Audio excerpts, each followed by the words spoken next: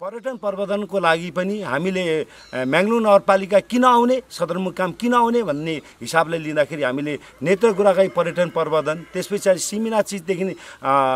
यो टिएमके मिल्के जलजले क्षेत्रको लालीगुराँस क्षेत्र त्यस पछाडि भ्यू टावर भयो त्यस पछाडि यहाँ सबभन्दा ठुलो नेपालको अहिले नामुद चलिएको चाहिँ नि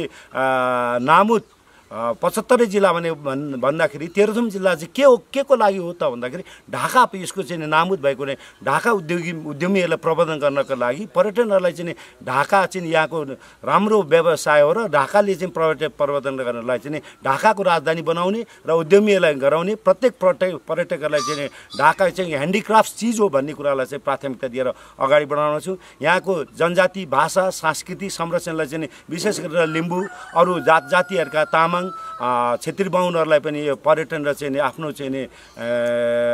यो पर्यटनको लागि आफ्नो चाहिँ भाषा संस्कृतिलाई संरक्षण गर्नेमा चाहिँ प्राथमिकता दिएर अगाडि बनाउने छौँ मलाई जहाँसम्म लाग्छ यो पर्यटन गर्नुको लागि पनि सबभन्दा के हुँदो रहेछ भने प्रा पूर्वाधारको बाटोघाटोको समस्या राम्रो भएमा चाहिँ पर्यटन उद्यमीहरू चाहिँ प्राथमिकतामा जाने भएको हुनाले त्यो कुरालाई पनि प्राथमिकता हुने रहेछ। हामीहरू अरू यो ऊर्जा सम्बन्धीका कुराहरूलाई पनि हामीले विशेष गरेर यो म्याङ्लुङ नगरपालिकाको केौरिनी सुसलिङ यता दुई नम्बरको चाहिँ बैकुण्ठे तल अरू अरू टमरको कोरिडोरलाई छुएको ठाउँहरूलाई चाहिँ खानेपानीको व्यवस्था अति आवश्यकता भएको हुनाले हामीले यो तयारी गरेको योजना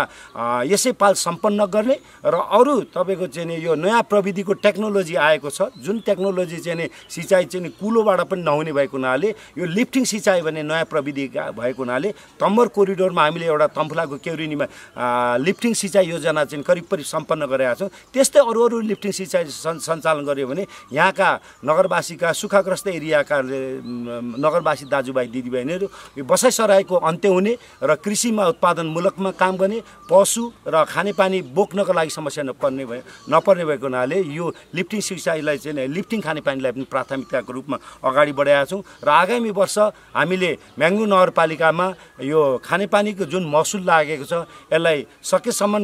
सरकारी कार्यालय बाहेक अरू विभिन्न वर्गको परिवारलाई नि शुल्क सेवा दिनेमा चाहिँ आगामी वर्षको मेरो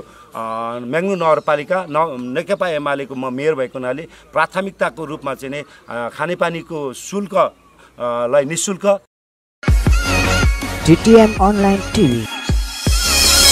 सब्सक्राइब गरिदिनुहोस्।